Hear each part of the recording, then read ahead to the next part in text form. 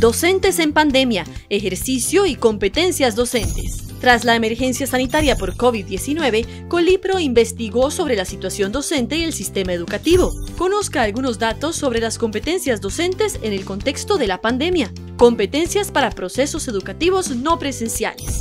12% indicó que no contaba con competencias especialmente docentes mayores de 46 años. 52% manifestó que contaba con pocas competencias, principalmente los mayores de 36 años. 36% respondió sí contar con competencias, mayoritariamente menores de 35 años.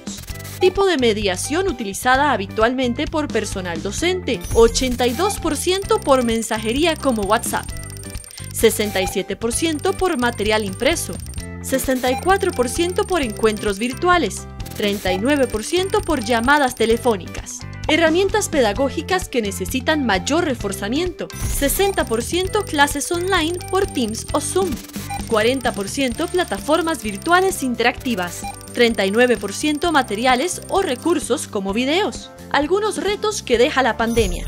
33% brecha digital y desigualdades en el estudiantado, 22% dificultades de seguimiento en el estudiantado, 14% falta de continuidad en el trabajo con estudiantes de atención a la diversidad los resultados muestran que la población docente no estaba preparada para la educación no presencial. No obstante, han realizado un valioso esfuerzo en poder cumplir con los procesos educativos. Si requiere abordar más detalles, ingrese a www.ululacolipro.com o www.colipro.com y acceda a la investigación completa.